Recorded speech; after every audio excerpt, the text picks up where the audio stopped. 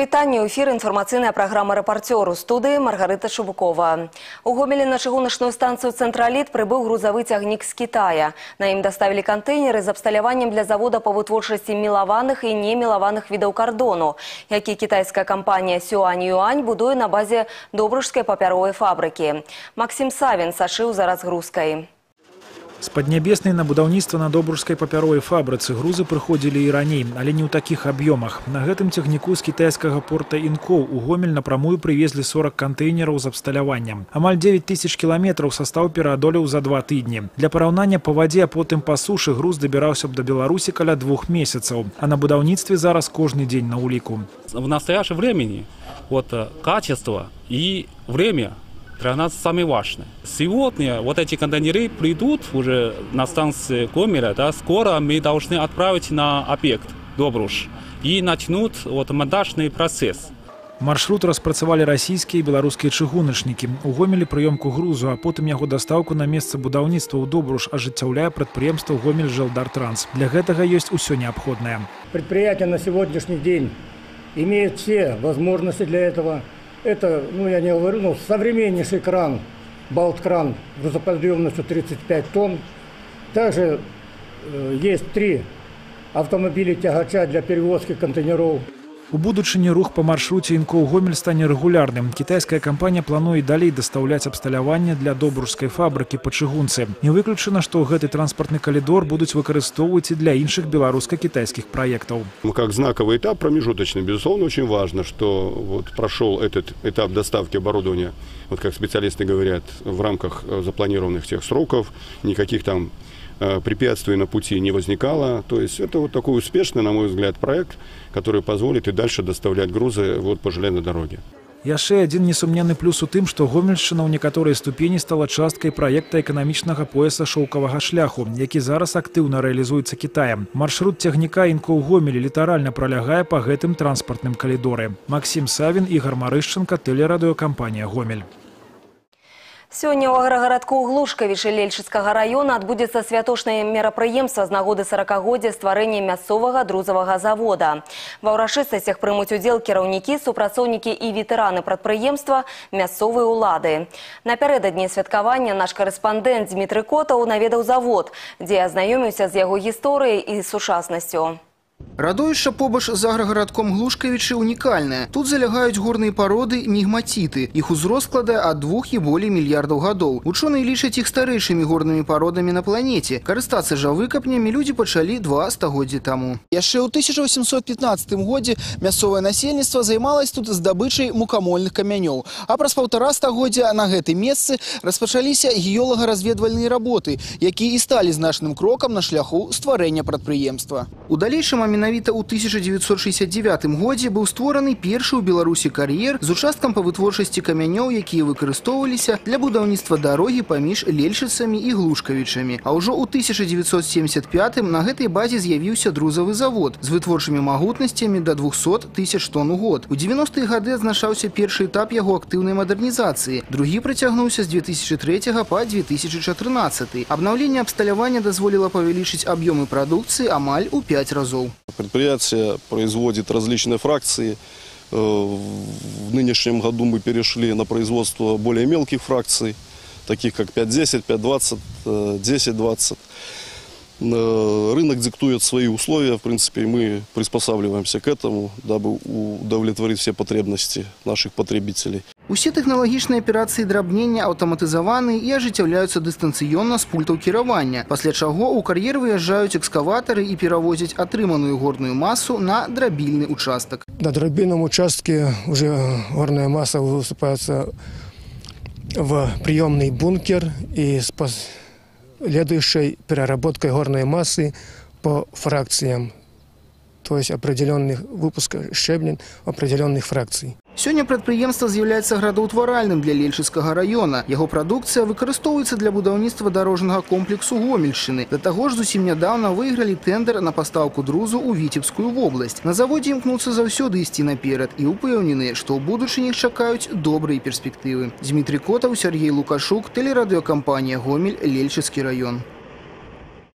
Працяглая засуха негатыўна паўплывала на стан пасеваў збожжавых. Каля 40 тысяч гектараў гаспадаркам вобласці прыйшлося спісаць на корм або зусім на страты.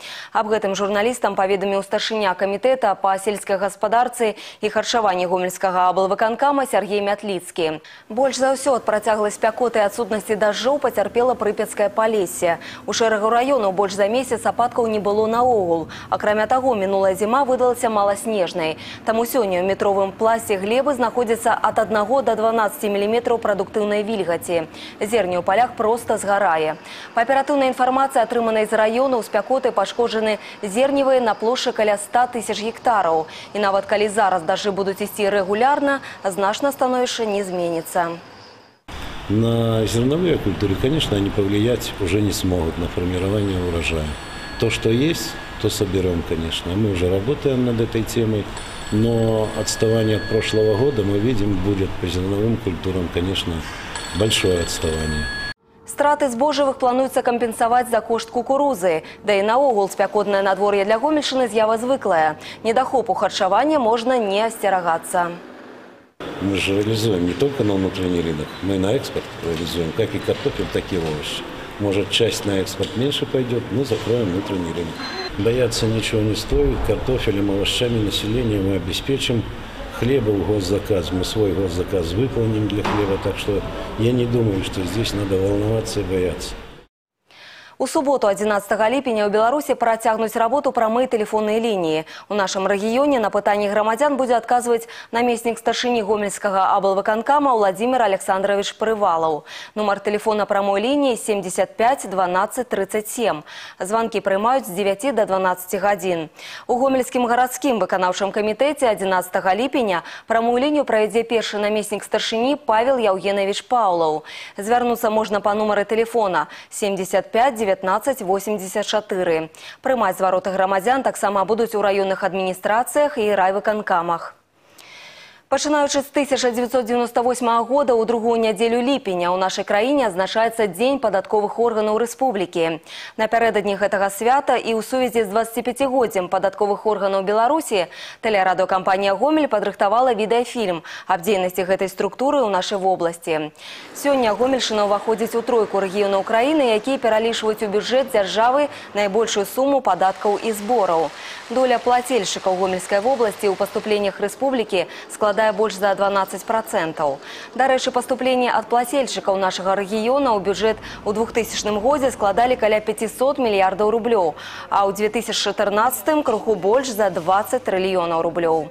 Шмат у чым дзякуючы дакладнаму выкананню падатковага заканадаўства і ўмацаванню фінансавай дысцыпліны у рэгіёне рэалізуецца праграма ў галінах адукацыі, аховы здароўя і сацыяльнай палітыкі. Работнікі бюджэтнай сферы своечасова атрымліваюць заработную плату. Глядзіце від відэафільм тэлерадыокампаніі гомель да 25годдзя падатковай службы беларусі адразу пасля завяршэння нашага выпуску У гомелі падвялі вынікі гарадскога конкурсу дзіцячай творчасці рамонак сімвал сям'і кахання і вернасці. У конкурсе, які быў прымеркаваны да праваслаўнага свята дня святых Пятра і Фяўроні, актыўны ўдзел прынялі дзіцячыя дашкольныя установы абласнога цэнтра. Уручэнне дыпломаў пераможцам конкурсу адбылося падчас канцэрта на летняй эстрадзе гомельскага палацава-паркавага ансамбля. На святошны канцэрт у парку былі запрошаны не толькі ўдзельнікі і пераможцы дзіцячага конкурсу. Галоўнымі гасцямі свята, на якое, дарэчы, мог прыйсці кожны жадаючы, сталі шматдзетныя і няпоўныя сем'і, а таксама сем'і, якія выхоўваюць дзяцей інвалідаў. Падчас канцэрта валанцёры гомельскай абласной арганізацыі чырвонага крыжа раздалі гамельчанам сотні рамонкаў, сімвалаў свята, якія былі вырабленыя сваімі рукамі. Ганаровымі гасцямі мерапрыемства сталі дзве пары. Адна з іх збіраецца згуляць вяселле юбілей гэтай восенню. Другая адзначыла сёлета залаты юбилей и з задавальненнем падзялілася сакрэтамі трывалага саюза. Ну как жить столько лет согласия? Научиться уважать друг друга. Всегда поддерживать друг друга в трудную минуту. А женщинам особенно быть мудрым. Всегда уступать. Уйти в сторонку, когда что-то не так. Всегда быть рядом. И главное, в трудные минуты в любые минуты, чтобы мы поддерживали, чтобы нужно поддерживать друг друга. Главное научиться любить и уступать друг другу.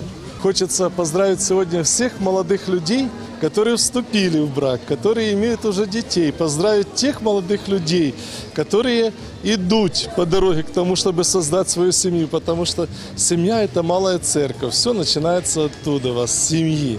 И доброта, и любовь, и уважение, и терпение, и молитва, и научение детей добрым делам, ну, вот, любить людей, любить окружающих, любить природу, любить свою родину. Вот дай Бог, чтобы все мы постигли азы того православной жизни, которой жили Петр и Хеврония. І на гэтым пакуль усё за развіццём падзей сашыце па нашых выпусках. А я з вами развітваюся. Да пабачэння.